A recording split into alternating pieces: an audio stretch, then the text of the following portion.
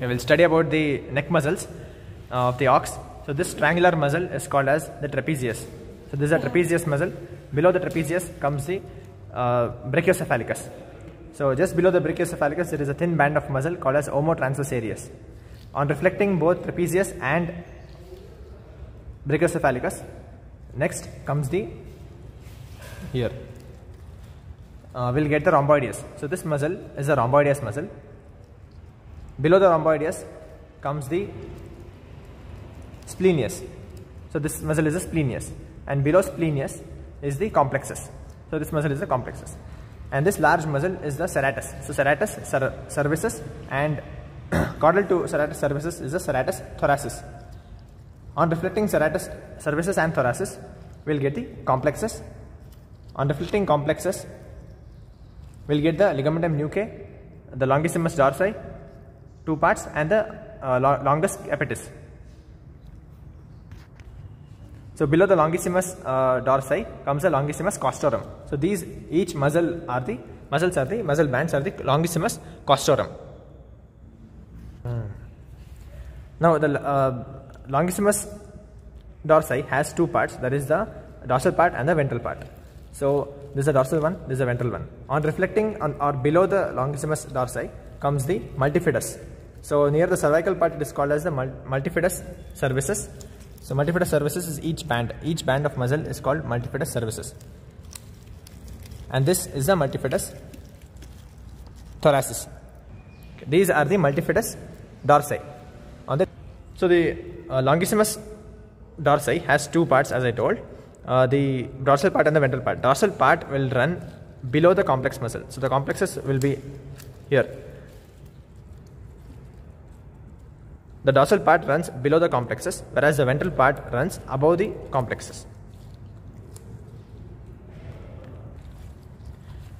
Okay. On the near to the head region, there are uh, some muscles called as this is the rectus capitis dorsalis. So there are two rectus capitis dorsalis major and below it is rectus capitis dorsalis minor. Below the rectus capitis comes the obliquus, obliquus capitis caudalis. So this is the obliquus capitis caudalis which runs from the atlas to the axis. Whereas obliquus capitis uh, cranialis is on the cranial region here which is cut in this, in this uh, specimen. Okay, now the ligamentum nuchae uh, which is the cervical part of the supraspinous ligament has two parts that is funicular part and the below is the la lamellar part. So funicular part will um, attach to the external occipital protuberance whereas the lamellar part will uh, attach to the spinous process of first four cervical vertebrae. The lamellar part has again is divided into two parts that is right side and the left one, right and left. So underneath the serratus dorsalis comes a small so underneath the serratus thoracis comes a small um, muscle bundle called as the serratus dorsalis cranialis and it has uh, three parts. Or it has three, three digitations. Okay serratus dorsalis cranialis has three digitations which will get uh, inserted here.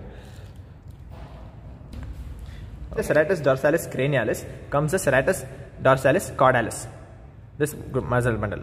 And there are three muscles uh, in the intercostal region. That is in between the ribs there are three muscles. That is one is levator costorum which is directed downward and backward uh, be, below the levator costorum comes the external intercostal muscle. So this is external intercostal muscle which is in the same direction that is downward and backward. Below the external intercostal comes the internal intercostal muscle which is directed downward and forward. And external intercostal helps in inspiration. Yeah, whereas internal intercostal helps in expiration. So this muscle is the rectus thoracis, this muscle, whereas these are the scalenus. So scalenus has two parts, the uh, dorsal and ventral. In between those two bundles, the brachial plexus emerges. Okay, now we'll study about the ventral aspect of the neck region and ventral muscle, ventral group of muscles. So between the uh, brachiocephalicus comes the jugular furrow and this is below the jugular furrow comes the sternocephalicus. The sternocephalicus has two parts. One is sternomandibularis and this muscle is sternomastoideus. This is the jugular vein. Okay, now this muscle is the sternothyrohyoideus. So sternothyrohyoideus has two parts. One is sternohyoideus, which is going from the from coming from the sternum and going to the hyoid. Whereas, uh, and this is the sternothyroideus from the sternum to the thyroid region. And this muscle is the from thyroid to hyoid. It is the sternohyoideus. So this muscle is sternohyoideus. Okay, the as I told, the sternothyrohyoideus has two parts: sternothyroideus and sternohyoideus.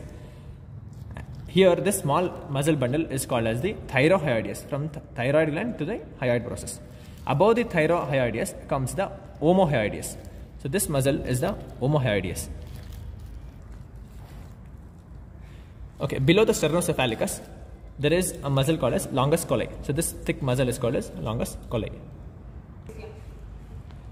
Okay, this uh, there are multiple uh, muscle bundles here called as intertransversarii colli.